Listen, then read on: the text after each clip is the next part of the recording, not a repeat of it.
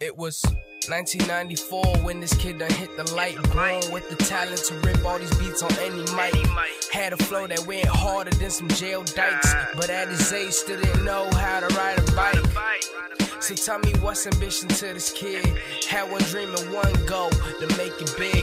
And who knew one day he actually achieve it? And now when they talking about the best, he could possibly be it. It's funny how it took a couple years of working right, and all it took was one second for the label to change my life. I'm the hardest working kid in this whole school. Imagine studios touring and signing autographs too, and doing homework in virtual school at the same time. Guess my friends keep my sanity at a fine line. Yeah.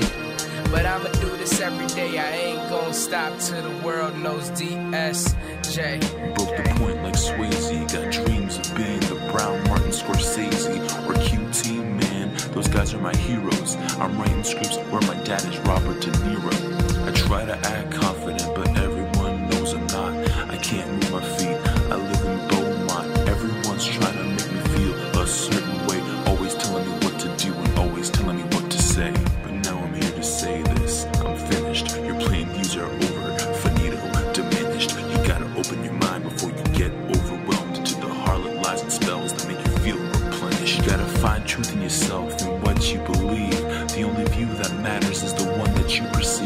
Listening to everyone will only make you delirious. Take a page from Dumpy, don't take things so serious. I'm as old as the dinosaurs, made the lions roar until the clouds came out and the rain started to pour. I'm like ET in the game, my mind should be framed. My thoughts are so sporadic, and I'm basically an addict to the words of the greats who changed the way I think. I'm inspired to be better, and I'm oh so oh so clever. But enough about me, let's talk we. Don't be young and not be perfect. Getting praised like kids in churches, The Emmys like a family circus, but no one can hurt us if we're together as one.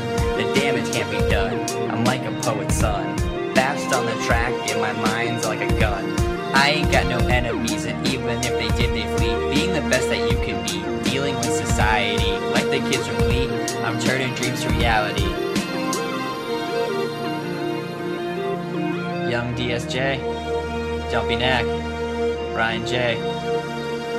We don't say that we're gonna become great someday, but we just talk about it.